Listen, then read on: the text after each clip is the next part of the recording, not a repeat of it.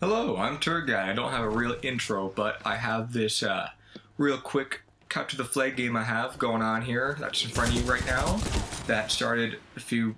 Did it? I don't even know when it started in this clip, but I didn't get to record the whole thing properly. I missed like what, maybe a minute, 30 seconds because uh, hitting the Xbox button will make it record five minutes, a certain Xbox DVR thing, but it didn't record the full five minutes that I wanted it to, and it missed a little bit. But this is a really, really quick CTF game that I think you might enjoy watching. I don't know how fast the fastest game has been, but this is probably up there. That was really cool. But I want to talk about this high time to kill playlist, something that we have may have missed. Everybody has missed, and I figured out. A, a few people have definitely figured it out by now, and I don't know if they shared it anywhere or maybe it was a bug and it only happened once to me, and I'm just being dumb and I haven't tested it out to like try to see if it actually was a one-time thing or not. But I'm gonna throw in a clip in a second when I explain this.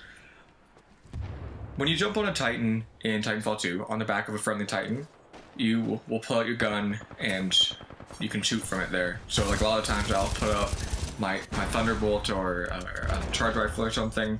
If I have it, I'll jump on the back of a Titan and ride into battle with him and I thought it was kind of cool to do that. So I wanted to do that in the high T to kill, T to kill, time to kill playlist. But I noticed that you don't pull your gun out when you jump on the back of a Titan and I'll show you a really quick clip here of what I'm talking about. And I've only tried this once and I recorded it and I was like, well, like, that's cool. I guess that's something that nobody talked about. I don't know if it's a bug because uh, uh, Respawn did mention that the silencers are broken in this playlist, so maybe the rodeoing, the friendly cowboy rodeoing of a uh, Titan, of a friendly Titan, is broken too, and if they don't know about it, maybe they do, and I don't know, nobody talked about it, and it doesn't really matter. I was kind of, you know, going for a clickbaity title, right? Nobody watches my stuff.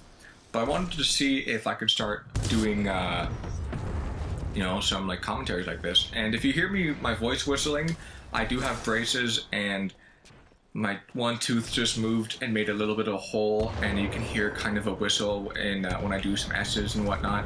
So if you get bothered by that, I get bothered by it too and uh, it won't be in the next video hopefully at all. So uh, I'm gonna deal with that right now.